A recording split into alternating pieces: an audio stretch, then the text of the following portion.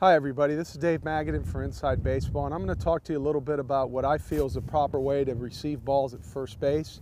There's a lot of different variations of it, but to me, after all, you know, eight, 900 games of playing first base in the big leagues, I think that uh, this worked the best for me and hopefully it'll work for you.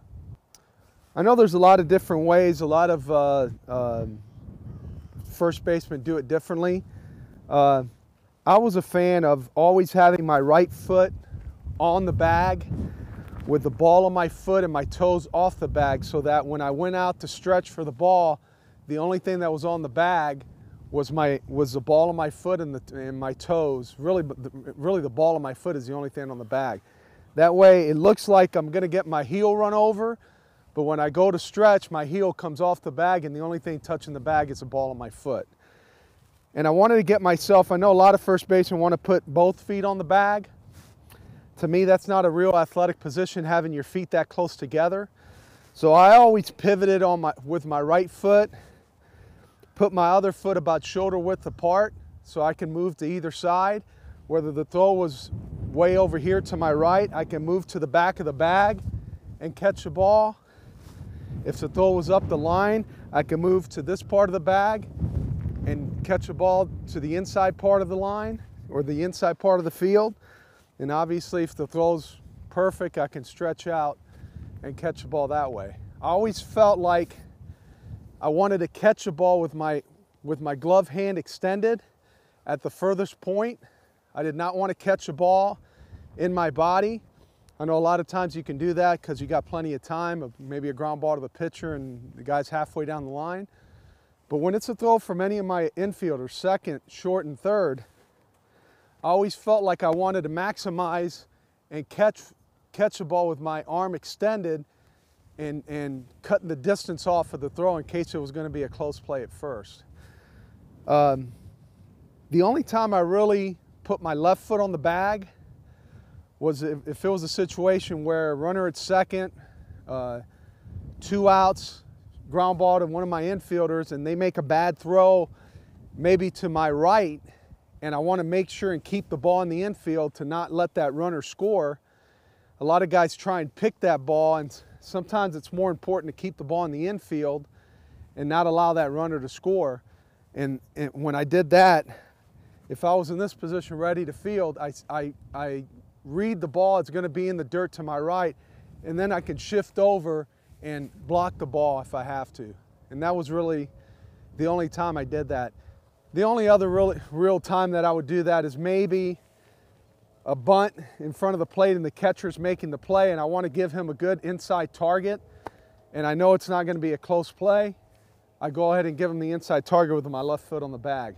If I know, if I feel like it's going to be a close play, I would go ahead and, and field it like I normally would for an infielder and I could create enough space for the runner to come by and me still be able to stretch and make the play. Uh, I know it's not as nice of a target for the catcher, but we're trying to get this guy out, and if I can cut off three, two, three feet, that's my goal because then I can make the guy out instead of him being on base.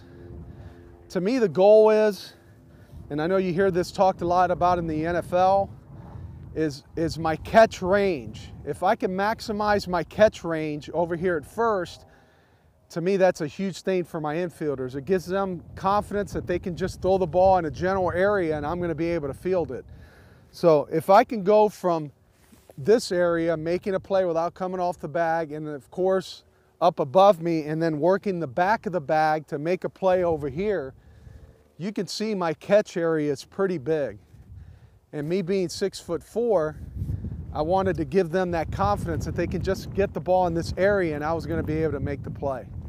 And that's ultimately the goal that you want, is to make the out. I want to take a second while we're talking about our, our movements around the bag to talk about how to get to the bag.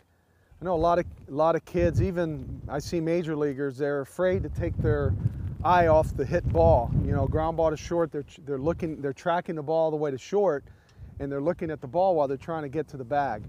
To me, the most important thing is get to the bag as early as you can to give that infielder the proper target. If he's getting ready to throw the ball and you're still on the move, or worse, you're at the bag but you can't find the bag, you're kind of uh, like you're uh, it's uh, like you're uh, looking for a mine. You're back here trying to find the bag. Uh, that's when a lot of times injuries happen when you don't know where the bag is and you end up coming over here and you're looking for the bag and you end up putting your foot or even your uh, your calf in, in the in the base path and you end up the the the batter ends up stepping on your foot, stepping on the back of your leg, and if you know you're playing a professional ball, they got steel cleats, it could it could do some damage. So the proper way is I'm in position and I'm watching the ball being hit to my, say any of my other infielders and I've made the decision now I've got to go over here and cover first base. I've got to have the confidence that say the ball's hit to my second baseman, I've got to have the confidence to understand, okay, he's fielding it. I can turn my back to him and get myself in a good position and give him the best target I can for him to make the good throw to me. If I'm over here trying to follow the ball and I'm looking back at where the ground ball is, and then that's when I'm going to start fishing for the bag. I'm not giving him the good target to throw over here at. Uh, and it doesn't put me in a good position to field bad throws either because I'm kind of on my heels. I'm still kind of moving towards the base. My ultimate goal is to get over here as early as possible, get myself anchored and ready and anticipating a bad throw. And that, at all good first basemen, when, when they're over here, they're anticipating a bad throw. And that's the way you have to be over here to be ready for anything that can happen.